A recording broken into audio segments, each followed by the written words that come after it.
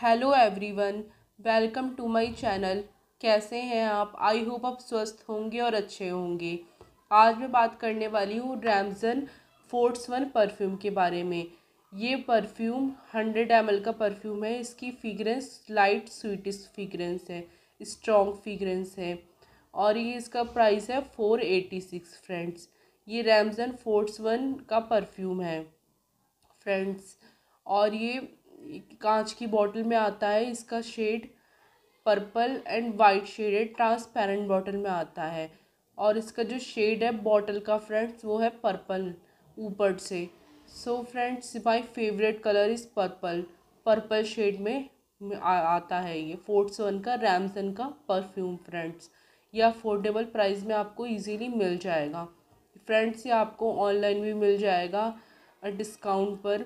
और आपको friends market से भी मिल जाएगा।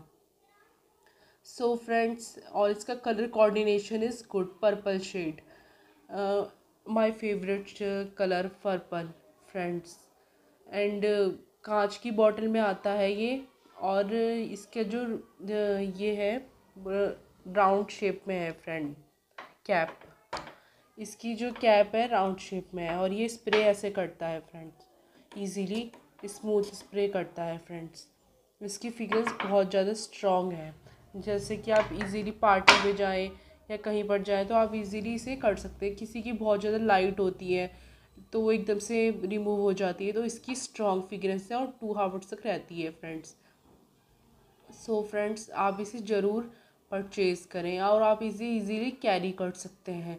जैसे ये ट्रैवल फ्रेंडली है फ्रेंड जैसे आप कहीं जा रहे हैं या फिर आप कहीं घूमने जा रहे हैं फ्रेंड्स ट्रैवल में जा रहे हैं तो आप इजीली कैरी कर सकते हैं।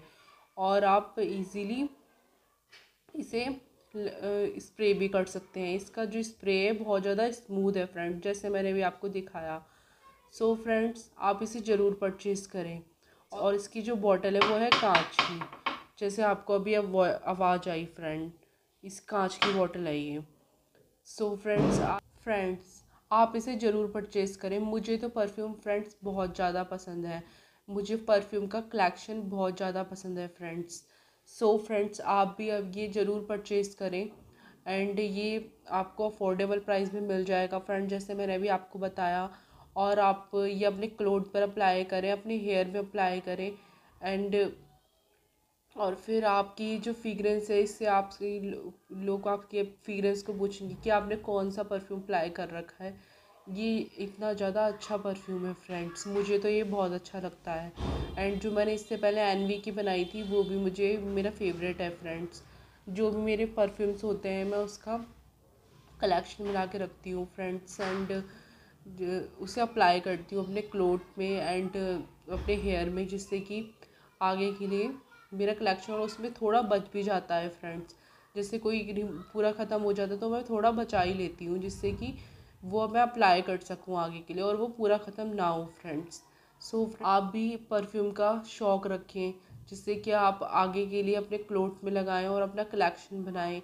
और सो so, फ्रेंड्स आज के लिए इतना ही. Like share and subscribe my channel bye friends